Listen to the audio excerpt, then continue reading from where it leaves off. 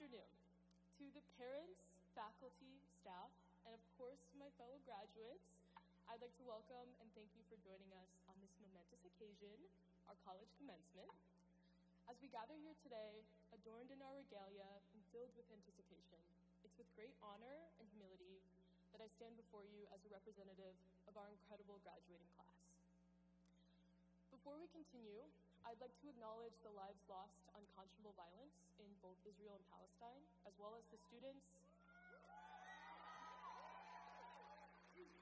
as well as the students who were unable to continue their education due to senseless acts of violence and conflicts around the world. As this graduating class completed our senior year, over 35,000 Gazans were killed, more than 14,000 of them children, and the right to education was stolen from thousands of Palestinian students. While we're here today in the midst of such tragedy, my mind lingers on the words of bell hooks. Our freedom is sweet. It will be sweeter when we are all free.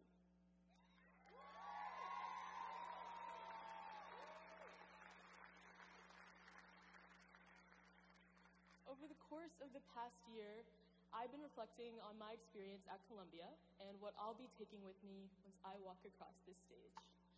Every graduate that sits in this room has gained so much insight and knowledge from our phenomenal professors who have encouraged our growth and creativity since the moment we first set foot on campus. With this in mind, I still can't help but feel that the Columbia experience goes far beyond the classroom. How can you capture four years of life in just a few short minutes. I could echo American philosopher and social activist Dr. Cornel West, who described education as soul crafting, or Palestinian American activist and author Dr. Edward Said, who spoke about education as a tool for empowerment and liberation. I could also talk for hours about the way that courses like culture, race, and media, or equality and justice, have fundamentally altered the way that I write and interpret media. But I don't have hours, so I'll spare you the details. Instead, I'll try to sum up what I've learned at Columbia in one sentence. Columbia has taught me what it means to be alive. Many of us began our journey at Columbia in the fall of 2020. In the midst of a global pandemic, we each decided that our education could not wait. We eagerly began the school year online, obsessing over the COVID case report numbers and hoping that our hybrid classes would continue into the next week. During this time, I blasted Stephen Sondheim's Being Alive from company like my life depended on it. Uh, my apologies to all of my many roommates over the years, including my mom, who was undoubtedly my favorite for the semester that I spent at home.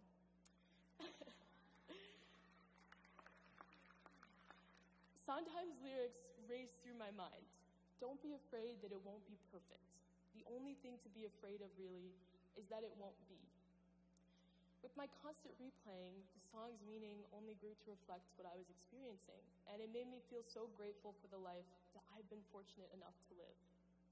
Sure, it wasn't the freshman year we all expected. We had to navigate class icebreakers in Zoom breakout rooms, learn to solder in our dorm rooms, attempt to foster friendships exclusively through Instagram messages, and take final exams in our childhood bedrooms. Life handed us lemons, and the incredible efforts of students, faculty, and staff here at Columbia made for some very sweet lemonade. The fall semester of 2021 brought all of us back on campus to experience Columbia College Chicago in all of her glory. I'll never forget making my first college friend playing grocery bingo at 30 East, bonding with my roommates over our shared love of devil dogs, or my first blood ball that I attended with my tutoring center coworkers who had quickly become my family. From open mic nights to senior showcases, there really never was a dull moment spent on a campus full of so many friends. Just as Sondheim's lyrics had promised, I had found someone to crowd me with love. In the past two years, we've all learned what it means to step into the role of an upperclassman. Professors were no longer accepting our tardiness without explanation. If they were anything like Professor Vizdigadarzi, they playfully demanded that you bring donuts for the entire class if you dared to venture in too late. They expected each of us to step up and for our work to reflect the time that we spent learning and building our foundation. They inquired about internships and job opportunities, and they were no longer just suggesting that we visit the Career Center. But the tough love and constructive criticism wasn't to push us away or to make us feel small. It was to show us everything that we were capable of, to push us further than we ever thought possible. With their guidance and mentorship, we were able to produce short films, headline shows, display our work in galleries around campus, host radio shows, manage artists, sell our creations in Shop Columbia, photograph touring artists, and build musical instruments. Our professors did more than just teach. They were someone to force us to care. As we reflect on our time at Columbia, from the strike in the fall of 2023 that reminded us all too well of the earliest days of the pandemic, to the brutally cold start of our final spring semester and countless hours, practicums, and lectures, we learned this year what it means to really want something this hasn't been an easy journey for us, but it's been worth it.